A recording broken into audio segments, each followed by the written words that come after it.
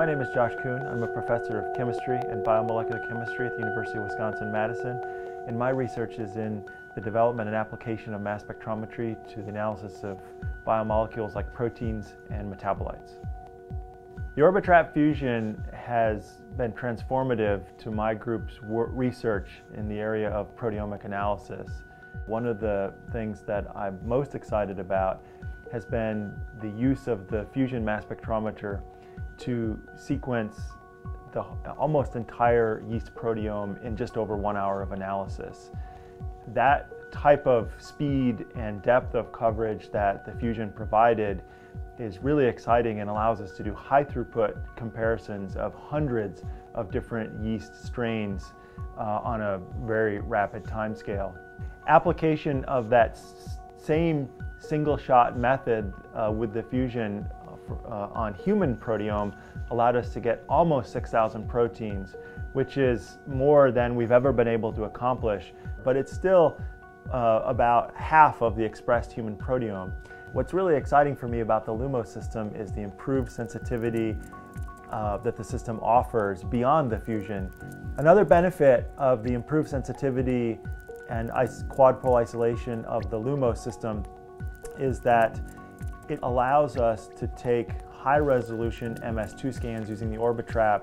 Uh, so the data quality of the MS2s is remarkably high on the system, regardless of precursor signal to noise.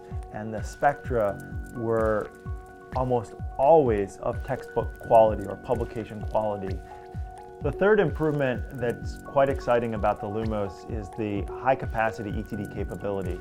With this mode, you can isolate a much larger population of precursor to perform ETD on. So for intact protein analysis or large peptide analysis, you're going to see markedly reduced spectral acquisition times and higher quality spectra. And this is really going to open up the door to LC timeframe analysis of intact proteins which you could never do before effectively uh, on that timescale.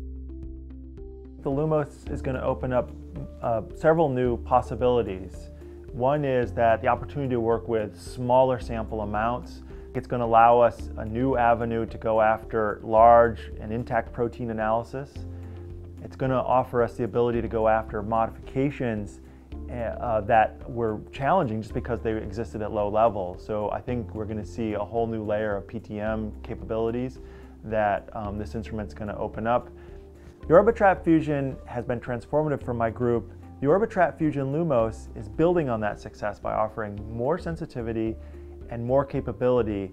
And I really think that's going to take us to clinical samples at a much broader scale, much faster than I could have imagined even three months ago. So all of these advances, the speed, the improved sensitivity, is going to translate into our ability to go after high throughput applications with proteomic depth that's unprecedented and to really be able to take on types of studies that have only been the domain of genomic type analyses.